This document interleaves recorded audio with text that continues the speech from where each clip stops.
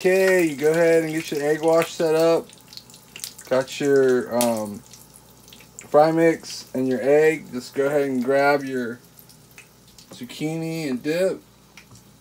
And then dip and flip. I just do it a couple times there, get it on there. Maybe push down a little bit. Try to get it all covered.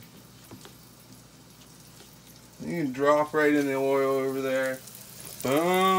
Get your oil nice and hot, get it bubbling. Drop them in, and then flip them over. Careful, it's hot.